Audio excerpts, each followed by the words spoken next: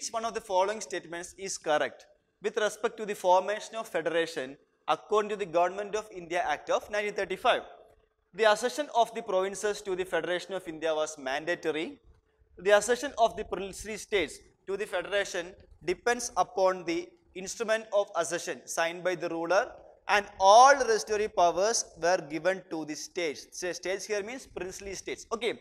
See, according to the provision of Government of India Act of 1935, they plan to set up an All India Federation. Government of India Act planned for an All India Federation. And among that act, the provisions was the provinces of the federation, that is, the provinces must be assessed to what? The federation. That is, provinces must be a part of the federation. That was a compulsory provision. So, one is right here.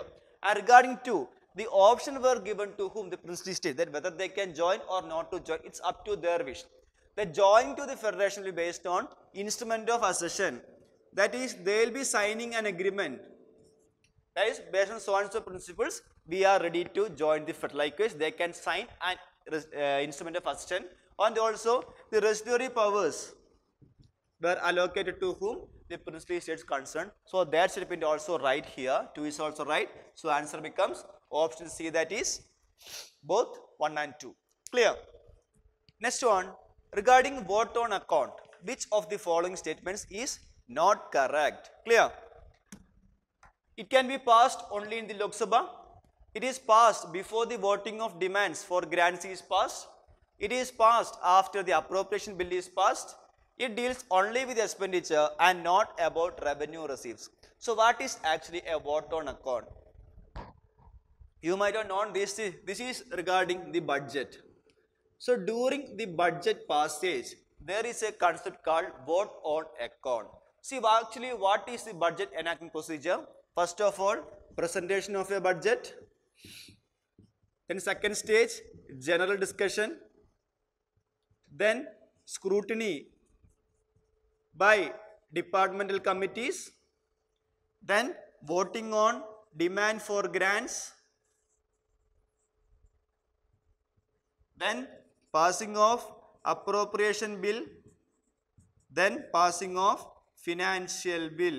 This is the procedure for the enactment of a budget. So this entire procedure first of all if the money has withdrawn from the consolidated fund of india parliamentary approval is needed right? So after the end of this procedure only the money can be withdrawn from the consolidated fund of india. But see to meet the daily expenses government need fund so if we wait till the end of the enactment of the budget, it takes a long time. But at the same time, we have to carry on the administration as well.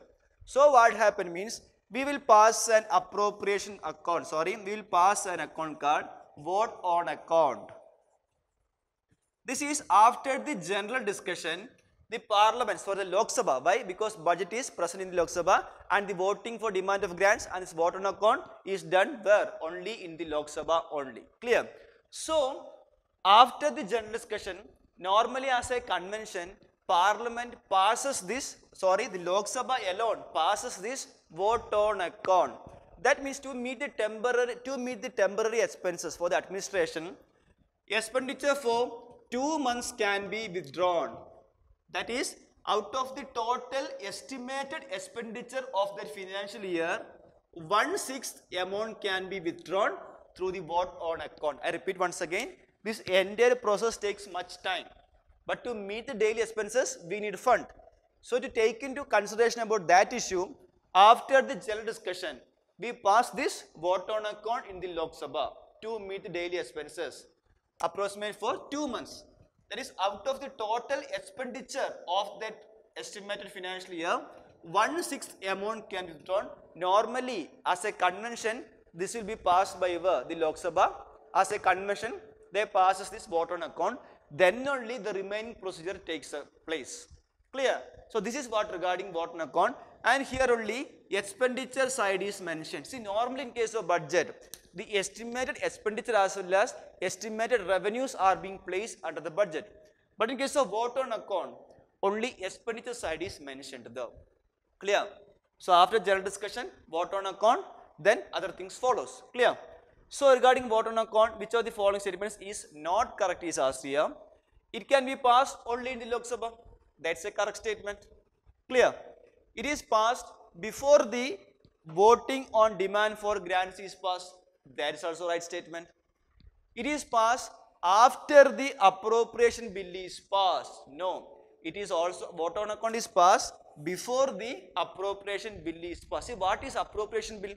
Appropriation means if you are to withdraw the fund from the consolidated fund of India, we must need parliamentary approval. That is what by appropriation bill.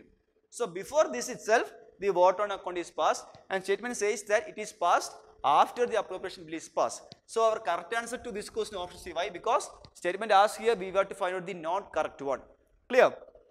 It deals only with the expenditure side. That's a correct statement and not about revenue received. That's also a fine statement. Clear? Answer is option C. Clear? Consider the following provisions under the directive principles of state policy as enshrined in the Constitution of India. Raise the level of nutrition and improve public health. Social and cultural opportunities for all workers.